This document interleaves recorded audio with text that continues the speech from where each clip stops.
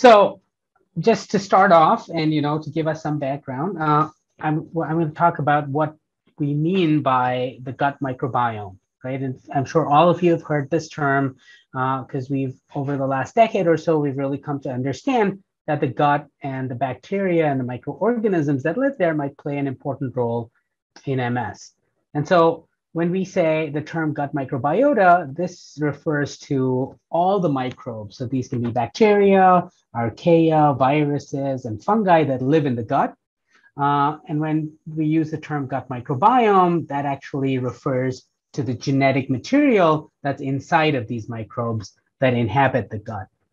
Uh, now, what's really uh, fascinating is the number of bacteria that are in your gut. And like the number of bacteria in your gut is about 10 times the number of cells in your whole body. And the genetic material is about 100 times of our own genetic material. Um, and it's the, you know, something that's really uh, interesting is that we've, in some ways, we've known about the gut microbiome for, or the microbiota for a long time.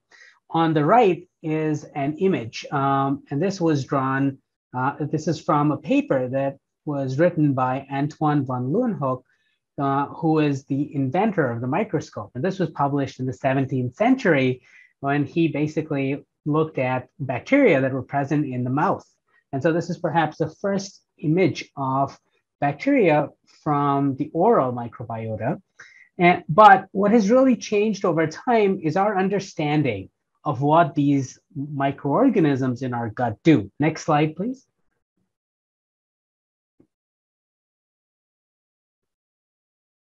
And what we've understood and or has evolved over time is our understanding that these bacteria aren't just there, you know, for no reason. We now know that there's a highly regulated interaction between these microorganisms that are in your gut and our body, and these, uh, you know, can happen. Uh, the, you know, this, the importance is for uh, in the immune system, for how uh, things are metabolized in our body, uh, even impacts on uh, things like our behavior. And it does look like, you know, my, bacteria and humans have kind of co-evolved in terms of their interactions at the level of the gut microbiota over time. All right, let's move on to the next slide.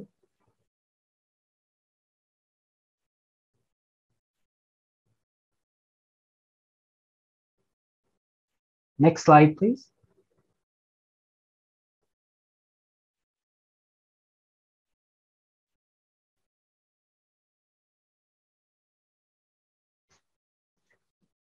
Kathy, next slide.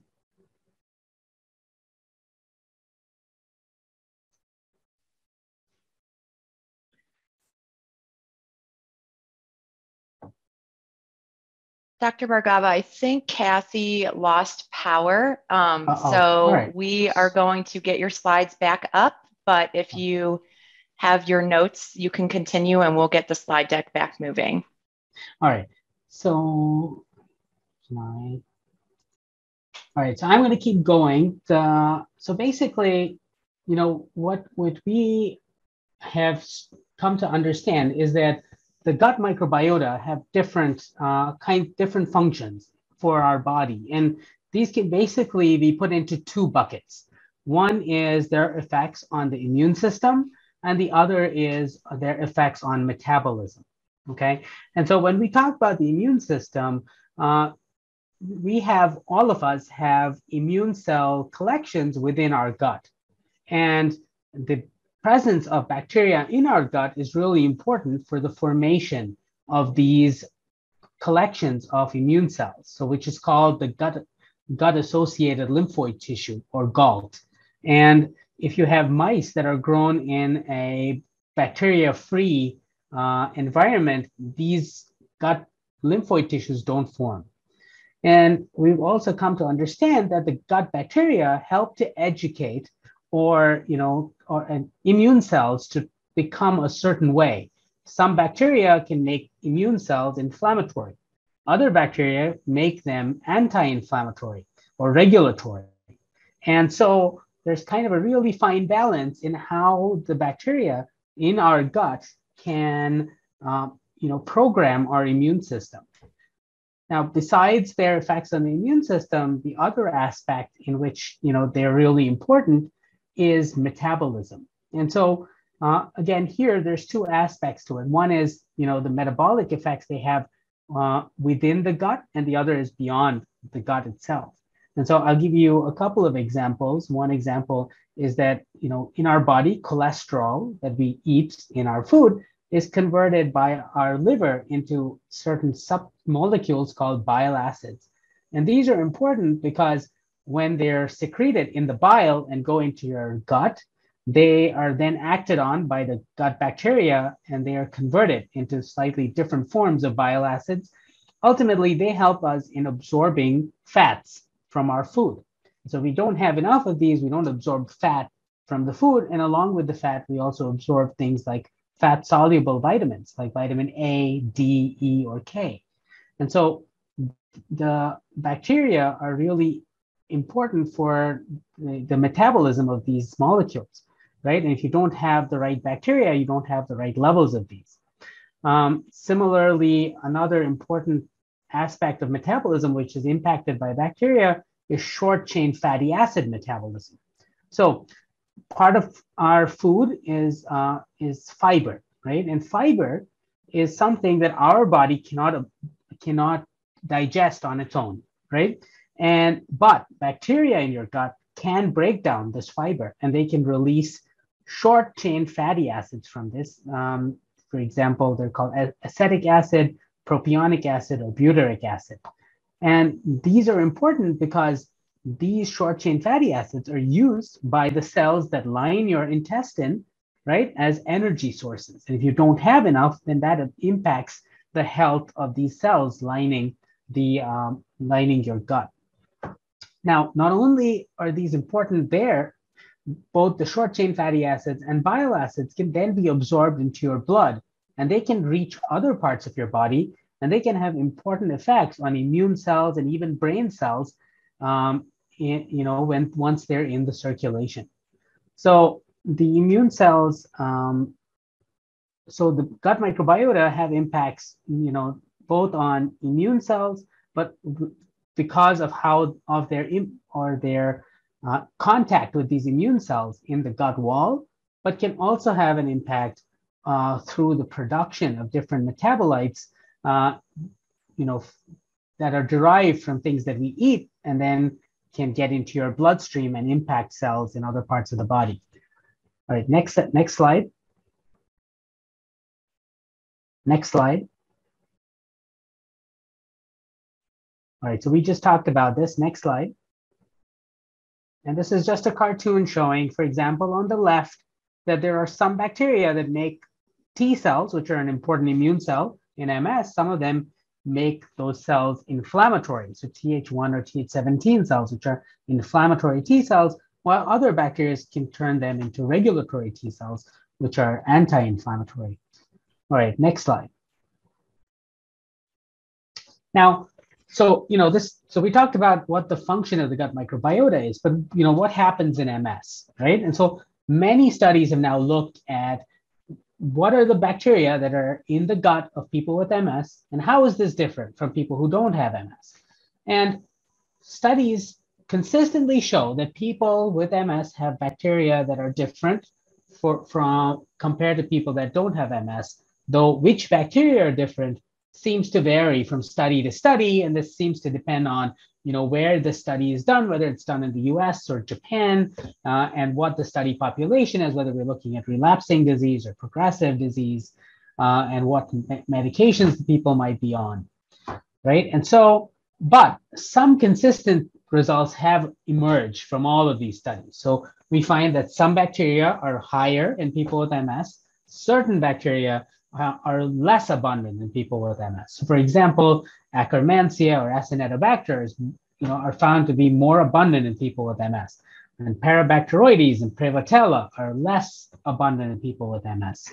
And now, you know, what does this mean, right? Like, it's fine to know this. Now, some studies suggest that some of these bacteria might have direct effects on immune cells. So, uh, some of them, you know, if we take Prevotella, for example, we put that in the animal model of MS, which is called EAE, and we give this to mice, it makes the EAE less severe. And it seems to act by directly contacting certain immune cells and turning them into less inflammatory cells, right? But another possibility is it might be an effect on metabolism. Let's go to the next slide, please.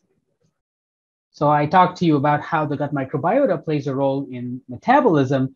Now we actually know that some of these metabolites are actually less abundant in people with MS. So for example, if you take short chain fatty acids and measure that in stool or in blood of people with MS and compare to that with people who don't have MS, those levels are lower in people with MS. Similarly, certain other metabolites like bile acids are also decreased in the blood of people with MS compared to uh, other people.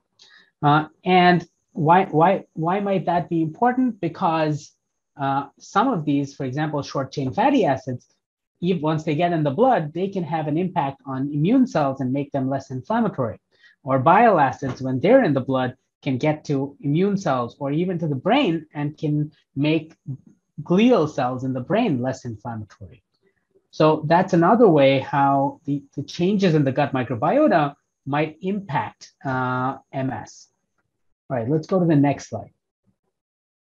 Now, another question that you know uh, a lot of people have is about this phenomenon that you know called the leaky gut.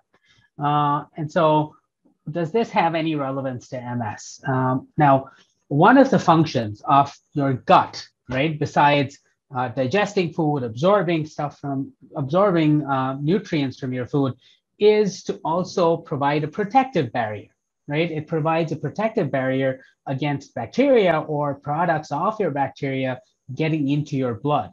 And one way it does this is by specialized junctions called tight junctions that are found between these cells. So there have been a small number of studies in people with MS trying to study whether there is evidence of leaky gut.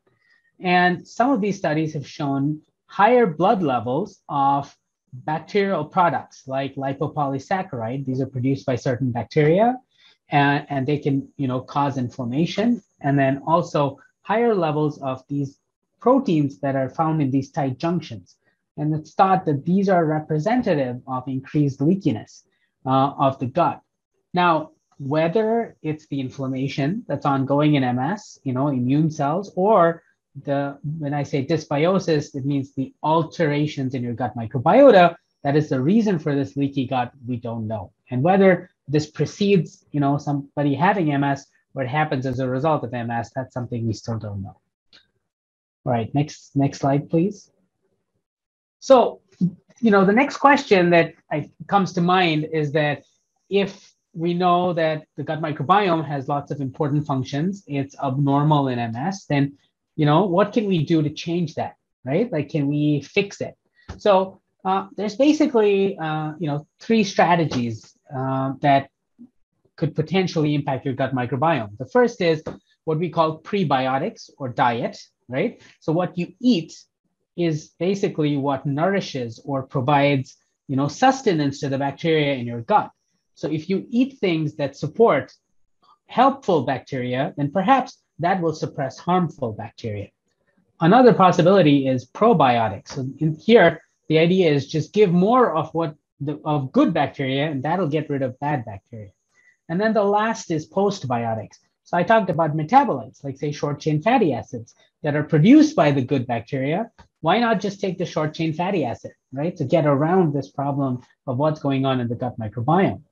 Now, one other strategy I'll just briefly mention is something called fecal microbiota transplantation, where you try to, you know, kill off the bacteria that are in your gut and then replace it with bacteria from someone else who doesn't have MS. All right, next slide, please. So one thing that you know we've learned uh, and we've known for a while now is that the is your diet has a major impact on the composition of your gut microbiota. So this was a study back in 2011 where they took people and they looked at the makeup of their gut microbiota, and they saw that people basically fell into two buckets. Either you had more of one class of bacteria called Bacteroides, or you had more of another class called Prevotella. And when they looked, you know, what was different between these two groups, they found that your dietary composition, right, of what people ate, uh, really strongly correlated with what how, what your gut microbiome looked like. And even more convincing evidence was provided by another study. Let's move on to the next slide, where they actually had people change their diet, right? And they had them change their diet to either predominantly plant-based diet, which is shown on the left, or an animal-based diet on the right.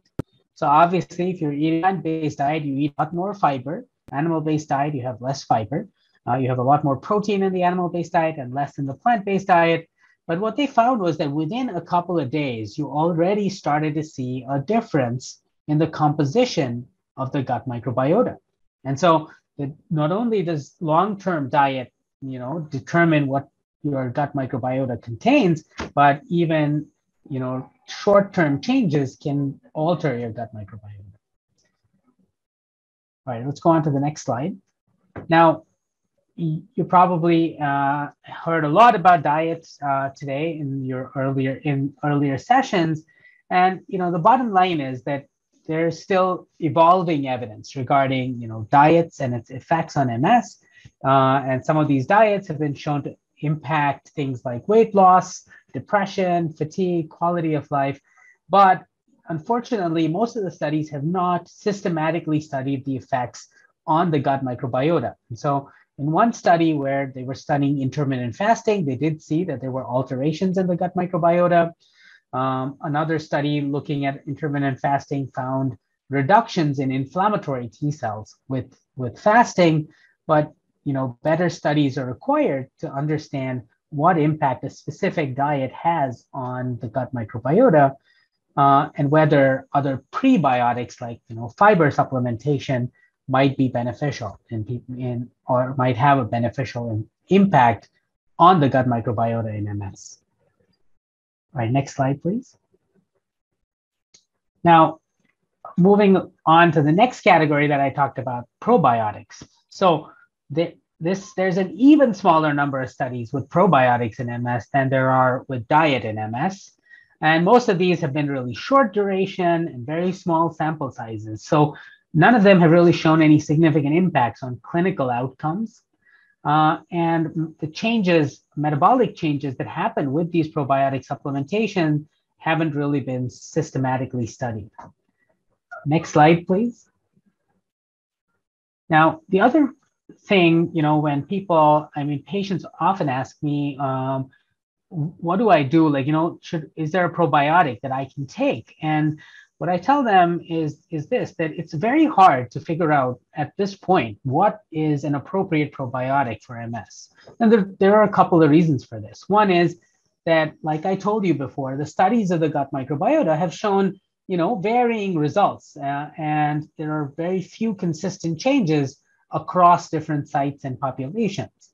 And what's really unclear at this point is whether the changes that we see are a cause or a consequence, right? So I don't know if these changes happened, you know, prior to the disease and help the disease develop, or is this a compensation of the body, right, to the disease? And I will give you one example of this, uh, which which is why you know this is so hard.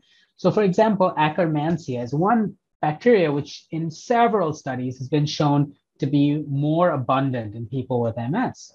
So the idea would be great, this is a bad bacteria. If we took, took this, put it in an animal model, it should make it worse, right? So when they took, when researchers took this and put it in the animal model, it actually made it better, right? And so that suggests that maybe this is not, you know, a causative change, but a compensatory change. So where this level goes up because it perhaps has a beneficial effect and maybe is curbing some of the inflammation that's happening in the disease.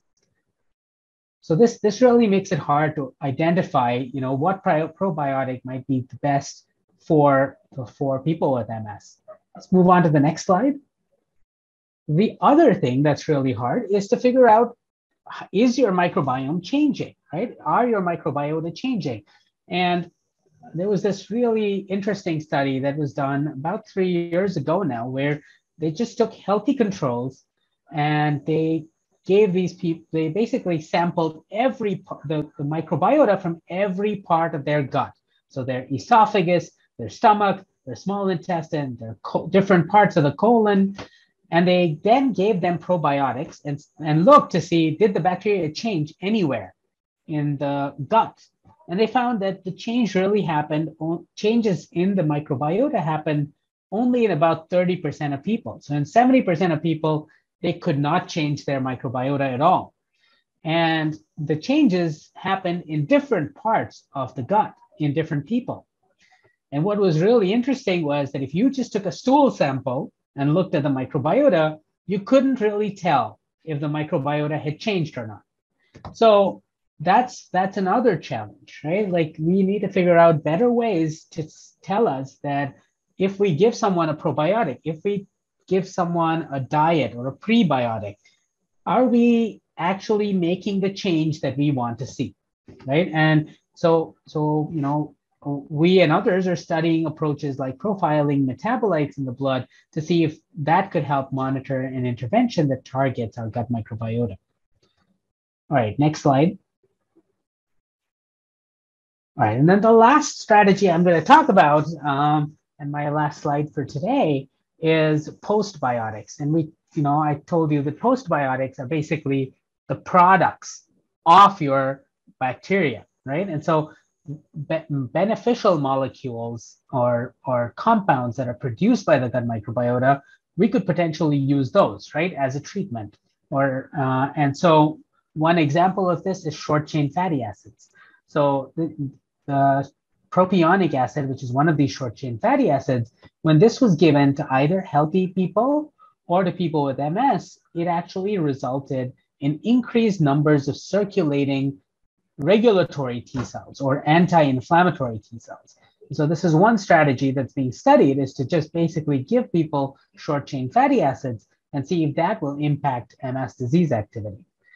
Uh, another example is our secondary bile acids. So uh, I told you that the levels of bile acids in circulation are lower in people with MS. And we saw that, you know, if we gave this to uh, in a mouse model, it actually made the disease less severe. So we're testing the uh, the effect of supplementing this in people with progressive MS to see if that might be uh, a strategy that might be beneficial.